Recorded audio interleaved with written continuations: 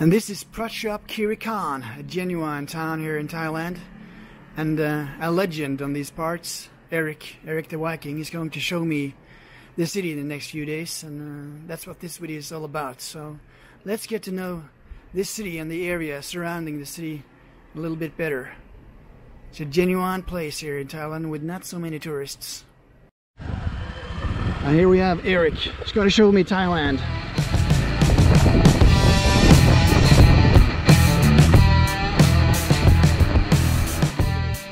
A lot of smuggling going on. And in the past, I think you went over there, right? You went over, when you were younger, you went over and crossed into Burma a couple of times. Yeah, I did. Yeah, you did. That's cool. You have to pay away, you know, when you Yeah. get caught. Had to pay some money to the, to bribe some officers over there. Yeah. Yeah, yeah. Corruption is uh, widely accepted here. Yeah. And you need to take advantage of that. Yeah, of Yeah, yeah. That's, that's the game they play. You know?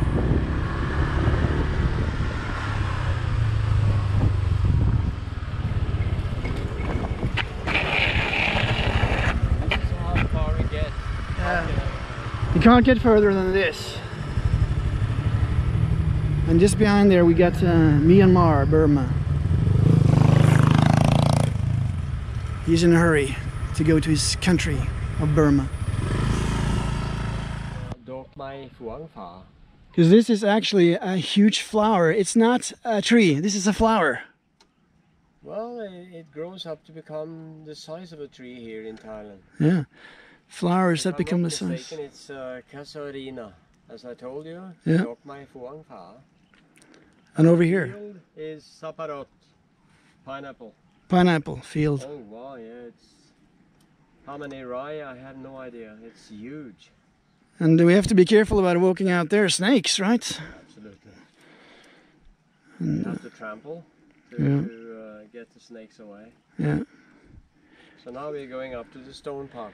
There's a monk up here, and I actually met him a couple of years ago. I'm interested to see if he's still And when up you there. go up to the stone park, please don't get stoned, okay? Oh yeah. Let's go up. And uh, here we have some dogs, and uh, me and Erik have been attacked by dogs today on several occasions. So we're a little bit concerned. That's why I have this stick here. And here we have two dogs, and uh, I don't trust dogs here, but they seem quite calm.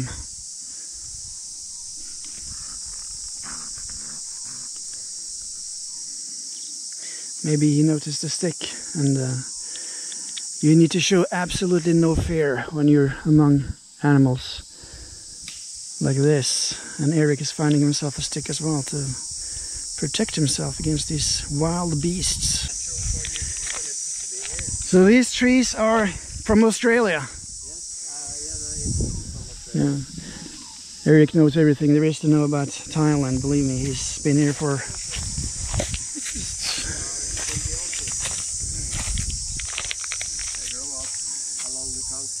yeah. To get light. Yeah. And I noticed some dogs, Erik.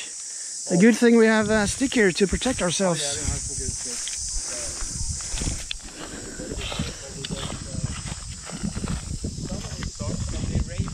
Yeah, they can have rabies. Avsagt hagle som så ut som Uh, pise, og så ha, ikke, ikke ha ordentlig hagle, men kan ha annet som bare skader dem. Erik is not afraid of the dogs, but he's pissed off Yeah. When he encounters these wild beasts. He just wants to get rid of them because they can be quite dangerous. And up here we have the the monk. I should be quiet. He's trying to sleep, perhaps. Here he is, the same guy.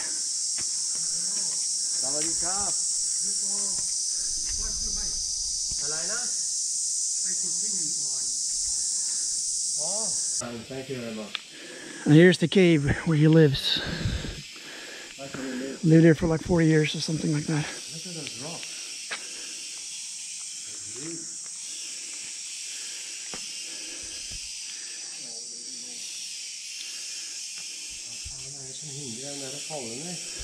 It's a big rock there.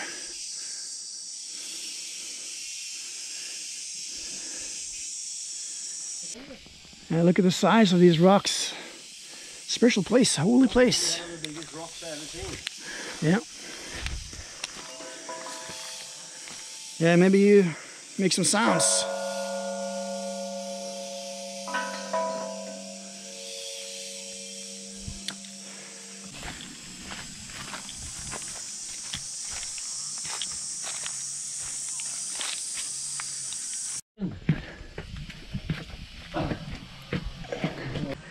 We go for the summit.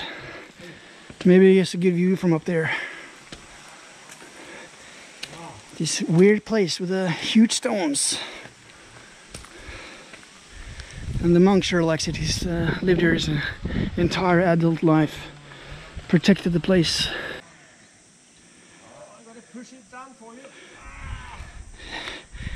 Erik the Viking, he has power. Really hard to move. Strong man. It's huge. And uh, very few tourists come to this part of Thailand, Erik. Very, very few. You can still uh, discover the real Thailand here, perhaps. Yeah. Like the city, like Pratua. It's a real Thai city. It's a real Thai city, Prachuap Khiri Khan, close by. Not a tourist destination like some other places. Uh, Okay, we gotta find a way out. That was my uh, stick, Erik. Ai. I need my stick. Well, that's your stick. Yeah, it's my stick, Erik. Sorry about that. Yeah. Den It's a backpack there. Maybe it belongs to a missing hiker in the in the jungle here. I don't think so. Probably been there for a couple of years. Maybe find a body in close by. Dead body or just snakes? Yeah, you should be careful. I don't want to go inside that.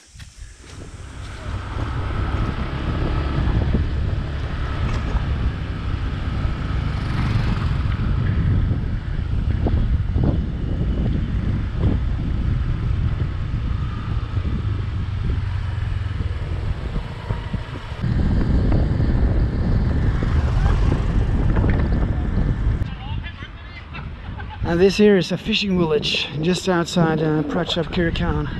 A very colorful place.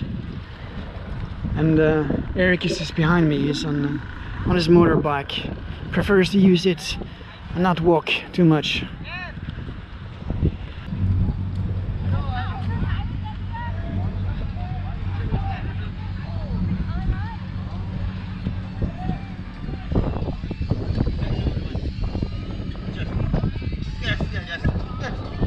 Erik is a legend on these parts and everybody knows who he is. I'm happy to see him.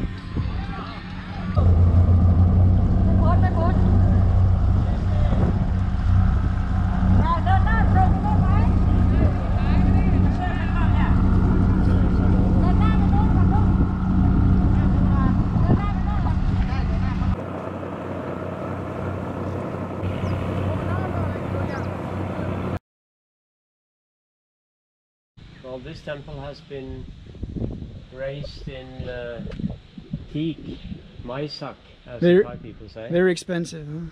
And uh, the dragons, they call the Thai people called Payana, and they protect the temple. Yeah. I I don't know why. I mean, mm, who this temple was raised for, but uh, it's very special. One of the few in Thailand. Yeah. And you see the, the, the style very narrow and very very tall. It's a famous place, right? It's uh, Oh yeah. And this is in Ao Noi, Prachuap Khiri Khan. I know Prachuap Khiri Khan. That's where we are. I know for a fact there are a couple of monks around here. And over there we have a, a cave. Famous cave.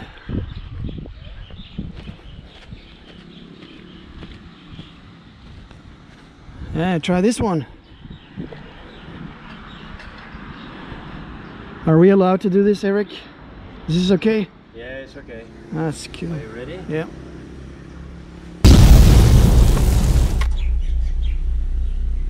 One more. Yeah. One more to go.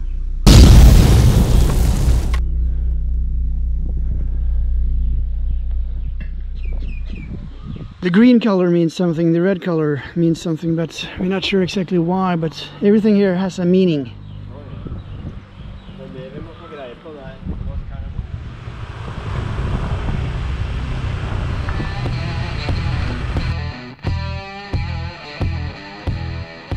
And Erik, you have something in, in common with these uh, animals, don't you? Yeah, you? Some people think that you might be a dinosaur. Det might be. You don't have genitals. you don't have genitals, right? Yeah. If you can take a better look, you see that uh, these animals don't have any genitals actually. But how do they... That's interesting. I didn't know that they about cannot do any poo because... Yeah. Oh, this might be the one. the poo. Yeah. I wouldn't like to be... Shithole. Yeah, I wouldn't like to be under the barom, you know, but Yeah. does, yeah. But uh, Erik, this place is not a success. No, There's supposed to be a lot of tourists coming here, but it's a big flop. it's a big flop. It didn't work out. The entire area, very few tourists come here, and Because it's, uh, it's a place of, of great beauty. yeah, it's a nice place. Should be tourists here. The problem is the sea, you know, the sea is very... The waves are always pounding and there's a very strong undertow here. Yeah, Very strong sea here. undertow. Yeah. And Thai people, they are not very good swimmers, you know. Yeah. So it's not popular among the Thais, and never took off among the foreigners either. So.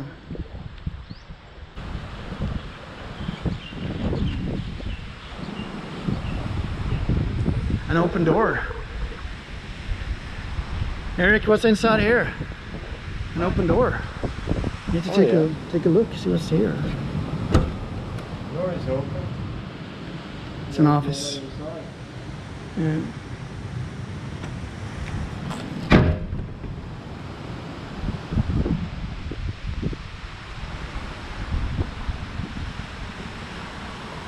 Welcome to Vaghor. There's a gathering location here. Used to be hundreds of people here. And then they all left. Live music, Yeah. Live music, Thai dancing, everything. Stage here. This is where Erik met all met a lot of people back in the day. All the girls. Met here.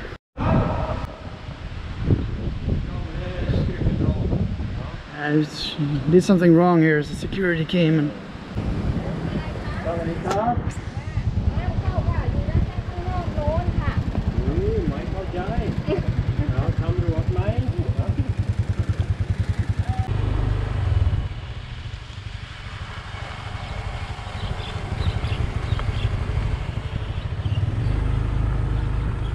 So here we have a here we have a windmill up there by, growth and, and like from a tree, you know. Yeah, but I still think it's much uh, better looking than the new ones, right? It doesn't work. Yeah, it doesn't work. That's the way it should be, and uh, it looks There's a lot of bird life around here because of the water and, Yeah. and the, the mar- there are marshland over there, no? lots of birds around here, and they don't like windmills, so it's a good thing it doesn't work. No, I don't like windmills. And uh, here's the end of the road, and uh, we can see they're building something else here. They always build more stuff here in uh, Thailand. That's a flyover across the, the railway, you see? Uh, uh, crossing the railway over there. Yeah, it's a bridge. As you can see, there, there is some kind of a road on the other side, you know, and, and it's uh, it's uh, a real road, you know, but we can't get down to it. Yeah, Hang on, I'm gonna look, go down and see if we can come. and they're always building new roads in Thailand, developing the country, right? Oh yeah, they developed all the time. Watch out for snakes, Erik. I will, I will. No, there's no way you can get a car.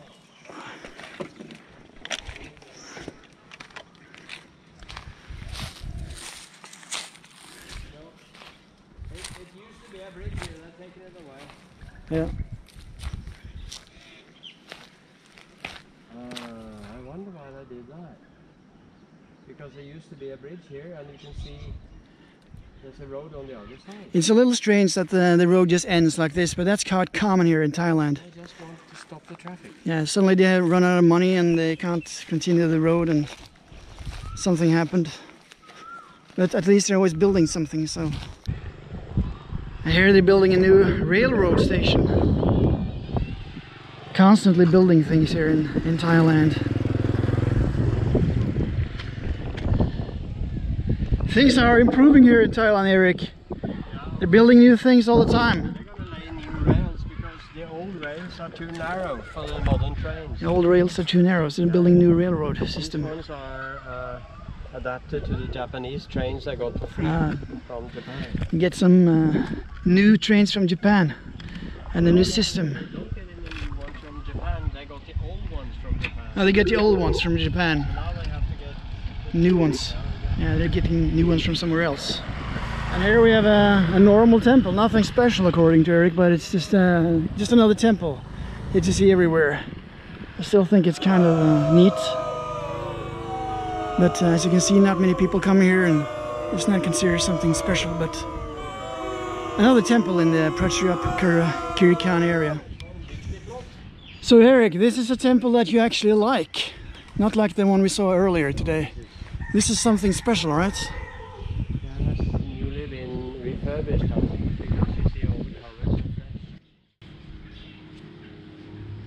Yeah, it's a huge, a huge temple, and very colorful. Doesn't look like it's open, so I can't get in there, but another time. Erik, why are you wearing a helmet? The military. Oh, we were going inside an air force base, and you need to use the helmet, right?